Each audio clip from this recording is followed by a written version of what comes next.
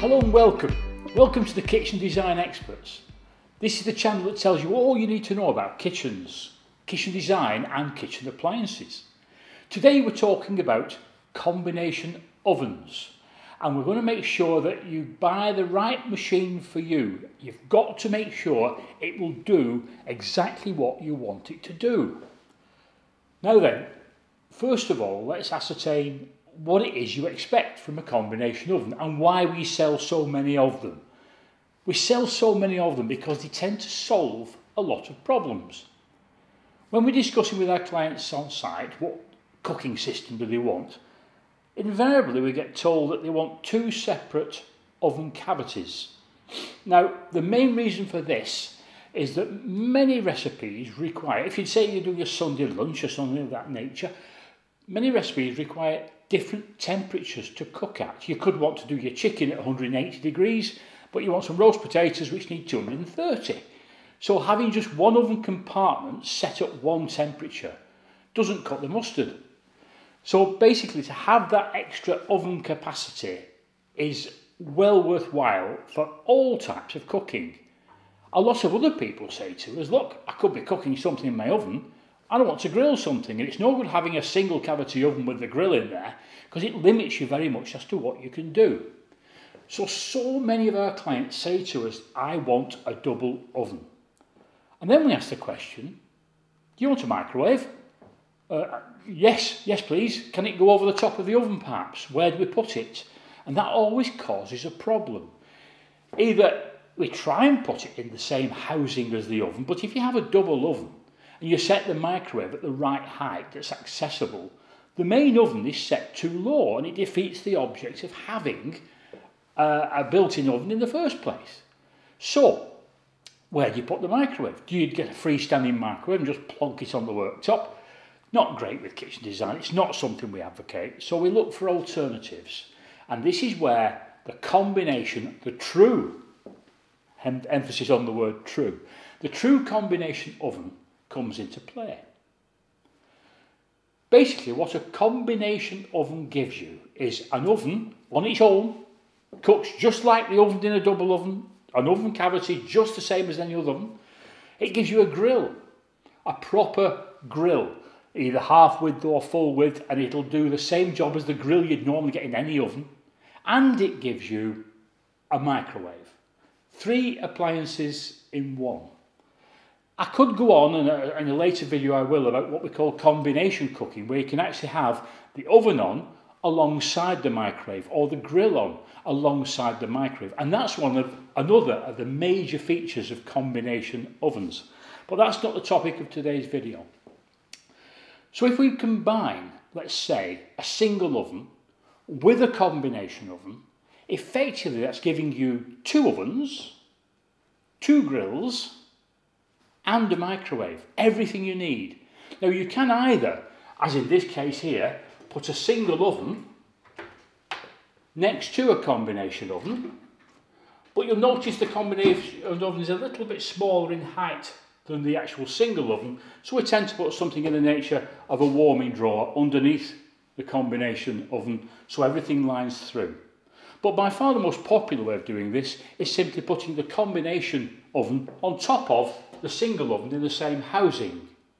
The only thing you have to be careful of is to make sure that the combination oven, because the door drops down and is hot, is set at the right height for you. And we have done a video on that, uh, see above. Now then, that's why we sell combination ovens. It gives you an oven, a grill and a microwave, all in one 45 centimetre high compartment. Now then, if I was to take you back 18 months, 24 months, we had, the kitchen industry as a whole had, major, major problems getting hold of appliances. And one of the worst appliances to actually buy was the combination oven. And we used to sell one of these in every other kitchen we fit. So this gave us major problems. But our supplier said to us, wait a minute, Robin, we've got an alternative for you and it's available and it's a little less expensive. So we had a look at it, we thought, wow, yes, let's buy some of those in. And we did. Now then, this is where the problem lies. And a lot of the problem is simply in the wording of the description, and you have to be ever so careful.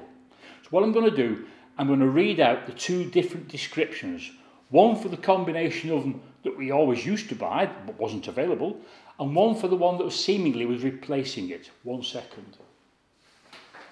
I'm going to read them so I don't get them wrong. Now then, the oven that we normally buy would, and I'm using Bosch appliances now as an example, and it's their terminology, but it also applied to nearly every other major brand of appliance. The oven that we would normally use was called a multifunction oven with microwave combined. Now that gave us, as I've mentioned before, an oven, a grill and a microwave. Now then, we were, it was suggested to us that this particular model, this other model, would do the same job. And the description of that model was microwave combination oven, microwave plus hot air oven plus grill facilities. Now then, to me, and I'm sure to you, that sounds as though it does the same sort of job. It's got all three functions, oven, grill, microwave. But unfortunately, that wasn't the case. I'll just talk about one particular job because uh, this one comes to mind, and this is where we actually found out we'd made such a huge mistake. Now, bear in mind, I've been doing this for 50 years, and if I'm going to make this mistake, there's a good chance you are. Hence, that's why we're doing this video. Now then, this particular lady wanted, definitely wanted to have the facility of a separate oven and a separate grill. She did lots of baking, and then she'd be cooking tea at the same time, and she asked me directly, could she use this machine as an oven and could she use it just as a grill? And I innocently said, yes, of course you can, no problem. Anyway, we fit it and I got a phone call the day after. In actual fact, what we'd supplied was a machine that was essentially a microwave. It had oven and grill backup to help brown the microwave food, but essentially it wasn't meant to be used as an oven or grill on its own. To give you an example, in the bottom there was a turntable, like you get in many microwaves, and there was just one wire shelf, which was fixed. There wasn't any adjustable shelf positions. It was a, it was a wire shelf fixed at the bottom, like you get in most microwaves. So basically, what we'd offered the client wasn't going to do what she wanted it to do. This was just a super duper top end microwave only. You can tell, well, when I went to see it, immediately I could tell that this was not the oven we expected to supply. You looked at the interior, see this picture here. When you looked at the interior, basically it was a stainless steel interior, as I say, with a turntable. It didn't look like an oven. It, it was just a microwave. But it did have this hot air oven and microwave backup. And that was what was in the description. But patently, it wasn't going to do the job. So unfortunately, we had to say to them, look, we'll take this back and you're going to have to wait for your combination oven to come. And she did wait. She was very, very patient. Thank you, Mrs. Smith. And uh, we, we sorted the problem. I ended up with six of these super duper microwaves in stock uh, because I couldn't obviously sell them uh, to people as what I call proper combi ovens. So how do you, apart from reading the description, which actually it doesn't tell you very much either, it's very misleading. Apart from reading the description, how do you know? How do you know what you're getting? Well, the interiors are the main difference and have a good look if you can at the interiors. I know it's difficult if you're buying your appliances on a website, they don't show you interiors, so if you can possibly try your best to get to a kitchen studio or an appliance supplier where the actual model is on display, that will save you a lot of heartache. Now, I'll put the two pictures up side by side of these interiors so you can see what they look like. Now, obviously, when you look at that, straight away, one of them looks like a microwave, there's no mistaking it, and the other one looks like the an interior of an oven. It, it looks essentially like the interior of a single oven, just the same. It's got adjustable shelf positions. It's got perhaps a catalytic lining to it. It might have a fan at the back uh, because it's a hot air oven as well. It's quite obvious when you open it. It's what it does. The other way, obviously, if you're buying a kitchen, your appliance at the same time, please speak to your kitchen designer and say to him, look, this machine has to function separately as an oven and as a grill as well as a microwave and take their advice. Uh, hopefully they've all learnt the lessons that I learnt. Uh, if not, at least you've got it in writing that yeah, this is what you want. and If you don't get what you want, they're going to have to change it for you. These machines are very expensive. You do want to make sure you get the machine that's right for you and does the job that you want it to do. So please be wary, double check what it is you're buying uh, and read the description very carefully.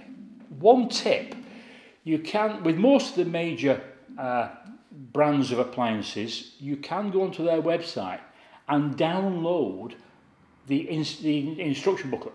And that will tell you, if you've got the patience to read it, that will tell you how you use the machine, what the machine is actually capable of.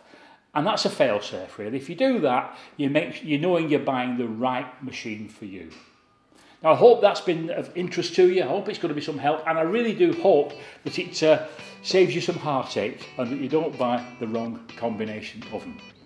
Thanks for your time. Look forward to seeing you again. That's all for now. Bye-bye.